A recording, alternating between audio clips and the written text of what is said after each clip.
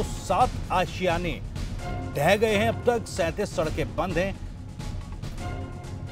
उन्यासी लोगों की मौत हो गई है। 118 घायल हैं।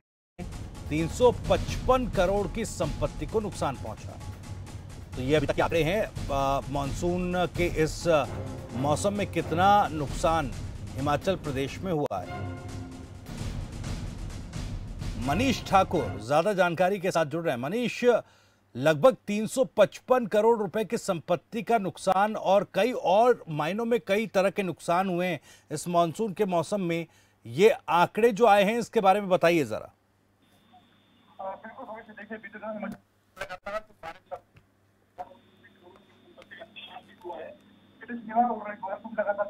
हालाँकि अभी के लिए जो है मौसम किया गया है। जी। लेकिन लगातार जो है वो मौसम मौसम खराब होने के चलते करीबन एक सौ जो छियानवे बिजली के ट्रांसफार्मर है, वो बंद चल रहे हैं। कुल्लू में अगर बात करें तो बहुत से दूर दराज क्षेत्र है जहाँ पर नुकसान हुआ है।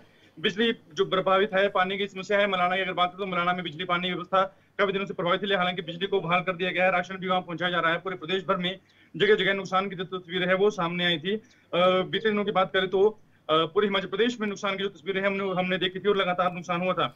अभी भी सैंतीस सड़कें जो है, वो बंद चल रही है। चौबीस पेयजल योजनाएँ प्रभावित है अंधड़ से प्रदेश भर में जो है मक्की की फ़सल को नुकसान हुआ है और क्योंकि हिमाचल प्रदेश में बागवानी एक अहम रोल रहता है कमाई के लिए और ऐसे में बागवानी को भी नुकसान अंदर से और बारिश होने से जो है वो नकदी फ़सलों को नुकसान हो रहा है, मक्की की फ़सल खराब हो रही है और नाशपति और जो बाकी फ़सल है वो अभी निकल कर आ रही है, उन पर भी नुकसान हो रहा है। तो ऐसे में पूरे प्रदेश की में बात करें तो लगातार नुकसान की जो बातें हैं वो सामने आ रही है।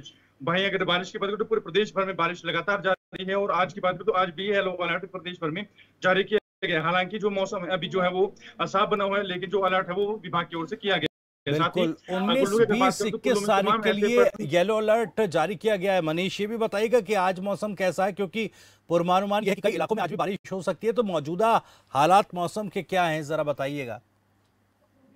देखिए अगर मौसम की बात करें तो अभी मौसम जो है वो धूप यहाँ पर निकली हुई हालाँकि जो बादल है वो यहाँ पर आने शुरू हो गया और थोड़ी देर में बाद शायद बारिश भी हो सकती है। लेकिन अभी की तरह बात करें तो अभी पूरे जिला भर में जो मौसम है वो साफ़ है।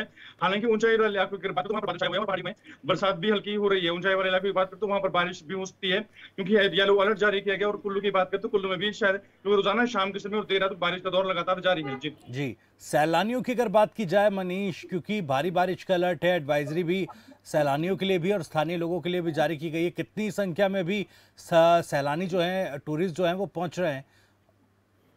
बिल्कुल, सैलानियों की बात करें तो सैलानियों के लिए भी जिला प्रशासन की ओर से अलर्ट रखा गया है, स्थानीय लोगों के लिए अलर्ट रखा गया है और जितने भी नदी किनारे जो कैंपिंग साइट है उन्हें बंद करवा दिया गया तो जो रिवर राफ्टिंग है वाटर स्पोर्ट्स है, वो भी जिला प्रशासन की ओर से बंद कर दी गई है एहतियातन तौर पर क्योंकि बारिश का मौसम जारी है और पहाड़ों में बारिश होने के चलते दरिया का जो जल स्तर है वो बढ़ सकता है। ऐसे में नुकसान की घटनाएँ भी सामने आती है, इसको लेकर जिला प्रशासन ने जो है वो रिवर राफ्टिंग और तमाम वाटर स्पोर्ट्स को बैन बैन लगा दिया गया है और जो तमाम ऐसे कैंपिंग साइट है, जो नदी किनारे है, उन्हें बंद कर दिया गया है। हालाँकि जो पहाड़ों पर कैंपिंग साइट है, उन्हें फिर से खोलने के आदेश दिए गए हैं और तमाम पर्यटकों को, स्थानीय लोगों को, ऐसे व्यक्तियों को जो नदी किनारे जाते हैं, उनको भी एहतियात बरतने के लिए सलाह दी गई है, क्योंकि नदी का जलस्तर कभी बढ़ सकता है और कोई नुकसान हो सकता है। क्योंकि बीते दिनों भी हमने देखा था, बारिश का पानी आने से काफ़ी जगह बादल फटने की घटनाएँ पेश आई थी, काफ़ी नुकसान हुआ, पर हमें देखने को मिला था। जी। जी, बिल्कुल, जो इस मौसम में, इस बरसात की वजह से जो नुकसान हुआ मनीष उन्यासी लोगों की मौत हुई, एक लोग घायल हुए हैं तो सरकार या प्रशासन इन लोगों के परिवारों के लिए क्या कुछ कर रही है? क्या किसी तरह का मुआवजे का ऐलान किया या कोई फाइनेंशियल एड दी जा रही है?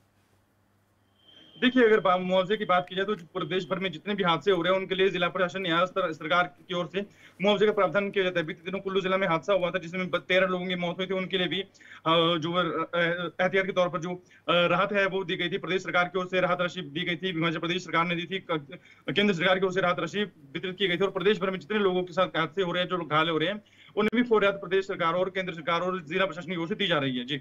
चलिए बहुत बहुत शुक्रिया मनीष आपका इस तमाम जानकारी के लिए। नज़र आप बनाए रखिएगा। अपडेट लगातार आपसे लेते रहेंगे तो ये आंकड़े हम आपको बता रहे हैं कि अब तक मानसून का जो ये मौसम है, कितना नुकसान देवभूमि हिमाचल में कर चुका है।